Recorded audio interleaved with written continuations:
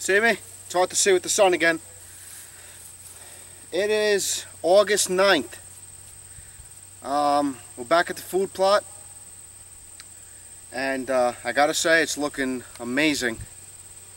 Uh, we, we put the seeds down July 12th. So, July 12th, August 9th, just shy of a month. And this plot exploded. I'm going to show you it in a minute. Um, like I've been saying, this is my first one. I don't know.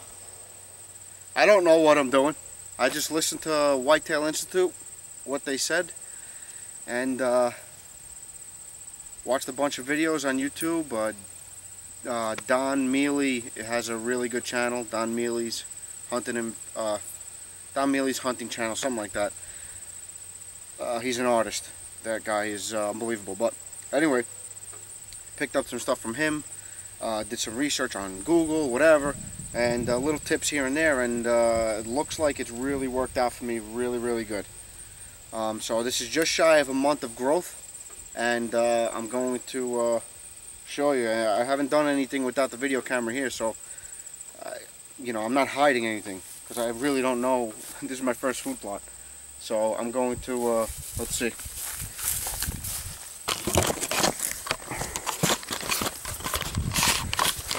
Get this camera.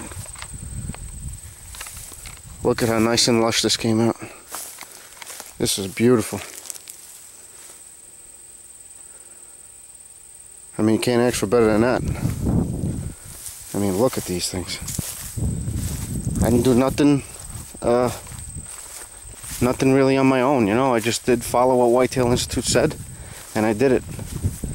I laid the seeds down when they said to do it. And look at these things. this is crazy. Oh, man. Look at these brassicas. Unreal. Unreal. Look at this. This is one seed. Look at all this tonnage. My goodness. Nothing hidden, you know, like I said, I want to stress. I didn't do nothing on my own. Everything was uh, pretty much on the box what to do. Well, on the bag in this case. Look at all this. Look at right there how much. That's got to be a foot tall. It's got to be a foot tall. Just take you down the edge here. Excuse me.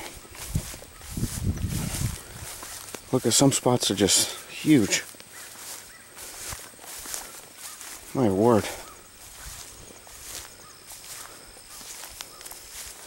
Look at this. That's a foot tall. And and it, it kind of looks like brown. That's not the brown. That's the underside of the leaf. Everything is beautiful. Everything is really nice and green. I mean, that's the that's the uh, native grass, and this is the food plot. So you could tell the difference between Look how green this is. Look how, you know, dried up that is. The only thing I did was add uh, about 38 pounds of uh, urea when it hit 3 inches. This is insane. And it doesn't look like it's being eaten. Um, that's the reason why I went with a brassica because not too many people around here do food plots. So, um, if I would have did all clover or, or an annual, I'm sorry, a perennial, you know, might have gotten mowed down quickly. Um, so I went with this because it it, uh, it becomes attractive after the frost, so during the hunting season. Hopefully, at least, you know. Look at this. Look at look at the look at those leaves there.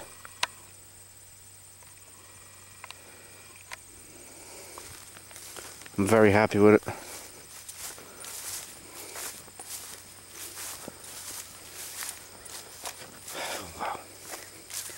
I will say one thing about the Pure Attraction. Now, again, this is my first one, first time using it. It says it has brassicas mixed in it. Now, if you guys remember, I put down about a bag of uh, tall tine tubers after I put down the recommended amount of pure attraction.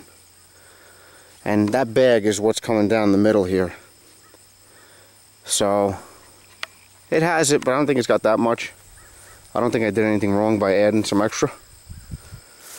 Um, I think if I do this type of plot again, uh, that's what I'm going to go for. Uh, I'll do the pure attraction and I'll add some more brassicas to it.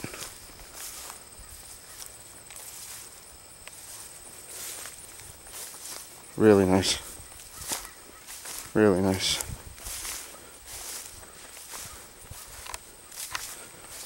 Wow. Here's a nice little apple tree right here. Shot a lot of deer on the bottom of this tree. There's my gun stand. And my archery stand is right here. So from there to the edge of the food plot is only about uh, 15 yards. So, and all the way up through here I have a rock wall about two feet high and in a couple of uh, particular spots I'm cleared it out. So I made a little pathway. And uh, I did one right around here and another one up there by my dad's stand. Just so it's easier for them to come out. You know right into bow range. Let me take you up through the middle now. This is the first time I've seen it after I spread the uh, the urea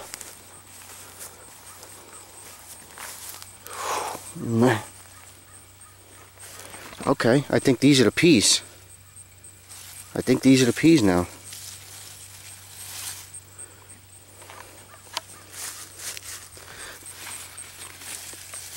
This is a foot tall. This is a foot tall.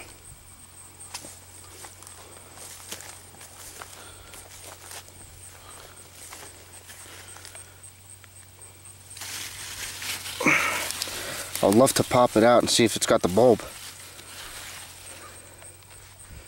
Got the oats in the middle mixed up, nice.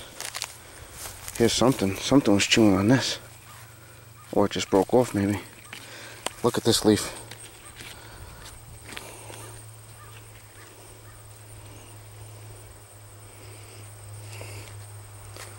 Produce a lot of tonnage.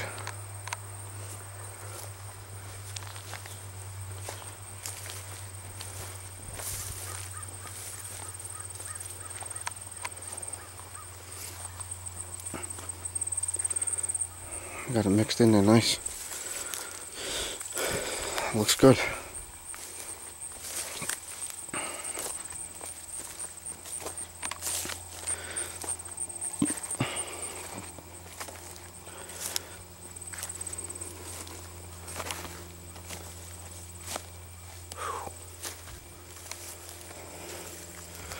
So that's it, you saw it here first.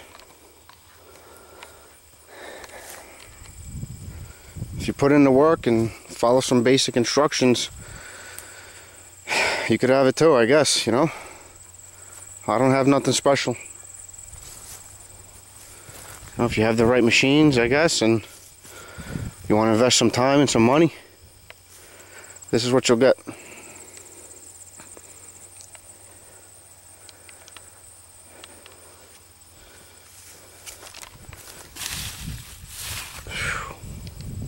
That's past my knees.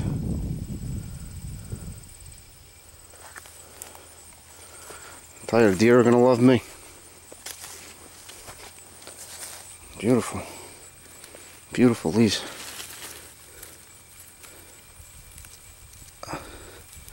I'm curious to see if it's got the bulb.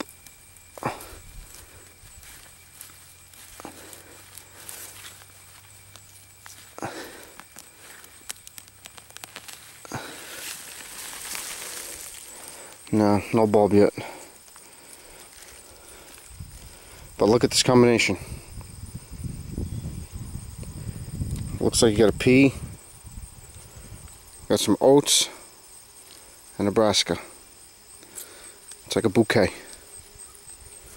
No, uh, no bulb yet though. No turnip.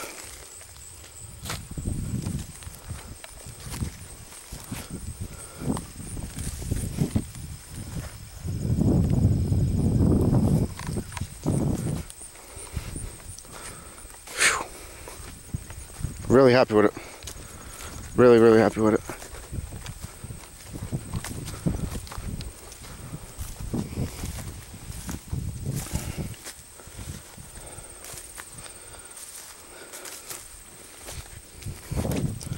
It's a nice mix.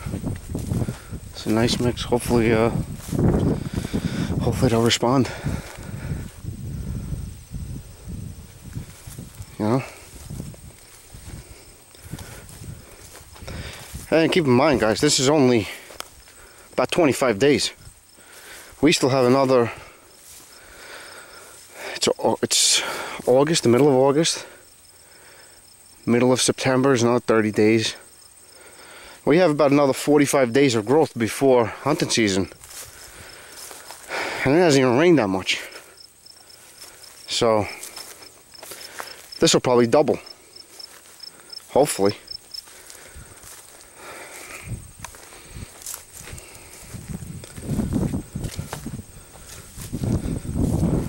Real nice. Real nice.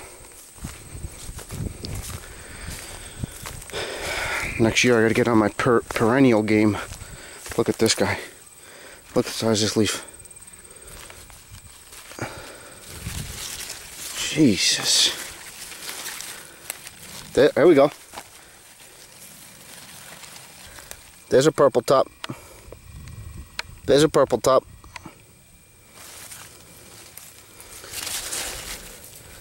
So just by seeing that, what I think is going to happen is this. I could be wrong. This thick patch here that goes all the way down is uh, sowed a bit tighter together than the stuff mixed with the pure attraction. I'm going to say that this part of the plot, the extra turnips that I put in, the bulb underground isn't going to be as big as the ones that came with the bag because they are grouped together tightly. Doesn't have room.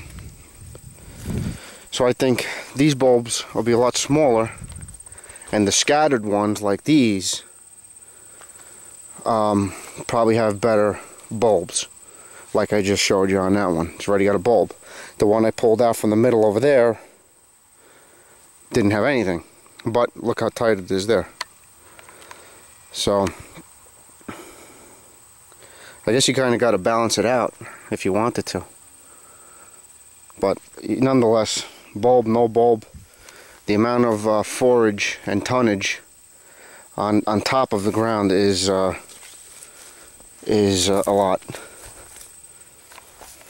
I mean, look at look at these plants.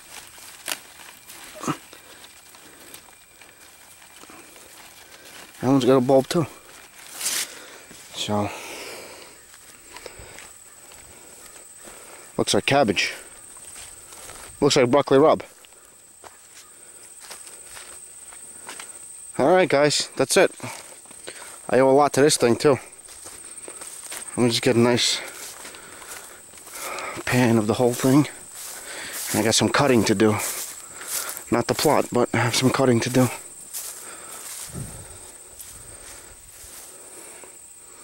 Proof is in the pudding. Beautiful.